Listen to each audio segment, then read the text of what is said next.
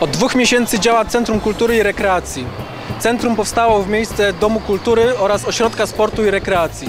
W ulicznej sądzie zapytamy mieszkańców Schowy, jakie mają oczekiwania wobec nowo powstałego centrum.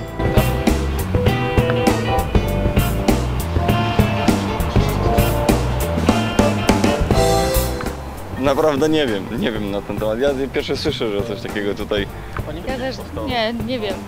Nawet, nawet y, nic nie było słychać na ten temat, żeby coś takiego tutaj powstało, nie? A może, może by to przemyślał człowiek i inaczej, może dzieci by na to nastawiło, żeby dzieci mogły z tego korzystać, nie?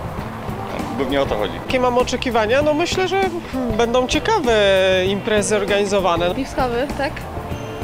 No to kiepskie. Bardzo kiepskie.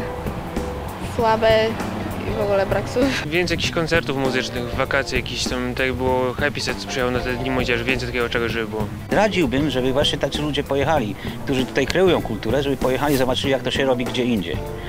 A te pomysły już utarte, to już się przejadły. I tyle bym chciał, żeby się po prostu nauczyli tylko. Młodzież nie ma się gdzie podziać. Myślę, że nie ma tam miejsca dla młodzieży. Nie ma tam... No widziałbym tam jakieś, jakieś kluby, jakieś przynajmniej udostępnienie tym, którzy mają jakiś pomysł na to, co robić. Jak na przykład Bractwo Rycerskie we Wschowie, oni się, nie wiem gdzie oni się, gdzieś w garażach.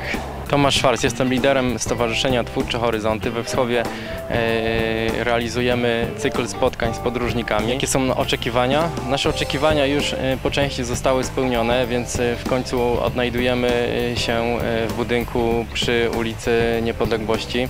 Nie chciałbym być złośliwy, ale na razie wygląda to wszystko tak samo. No. Mamy końcówkę sierpnia.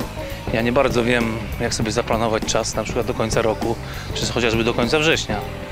E, trudno mówić o jakimś planie dla e, jakiejś rozpisce imprez dla mieszkańców, no po prostu takiej nie ma.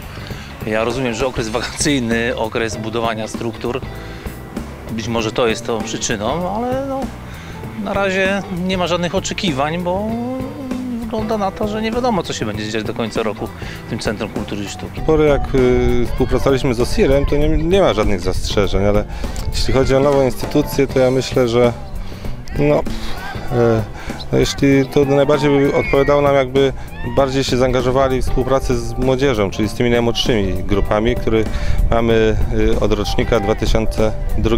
Ja, ja myślę, jak y, dyrektor będzie prowadził tak całą placówkę już tą połączoną z OSIR-em i z Domem Kultury, chwili Centrum Kultury i Rekreacji, to będzie tak prowadził, jak prowadził Ośrodek Sportu i Rekreacji, to będzie bardzo dobrze.